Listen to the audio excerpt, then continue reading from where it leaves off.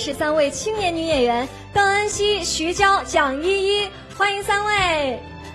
如今呢，三位都已经在影视作品中独当一面了。青年演员邓恩熙凭借《嫌疑人 X 的现身》受到关注，随后主演过《风平浪静》《少女嘉禾》《扬名立万》等多部大荧幕作品。青年演员徐娇九岁出演个人首部电影《长江七号》，并凭借该片获得第二十九届大众电影百花奖最佳新人奖提名。青年演员蒋依依六岁首次出演电视剧，曾出演《宫锁沉香》《清风传奇》等影片，欢迎。